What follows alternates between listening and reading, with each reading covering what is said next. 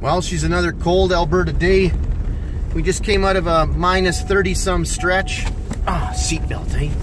And uh, she's warming up here now to uh, minus five right now, and the fog's setting in, which is not so good for us solar people. But what I really want to talk about today is generators, batteries, and stuff. You know, when you sit your generator outside in some poor little shack that's not heated, and it's just so complicated to, you know, get that baby going when it's cold. And I've came across one client, one customer, and I really know nothing about it, but it sure looks cool. And he took and got this uh, heating pad, okay? It's a heating pad that you'd put around your car battery, right? And they come, well, they're about 36 inches long. This is fantastic. It's got a cord end on it, and they're 80 watts.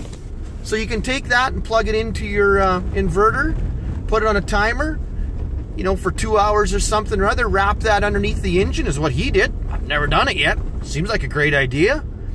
And then his uh, generator will start up. And he also has one on his batteries for his off-grid system.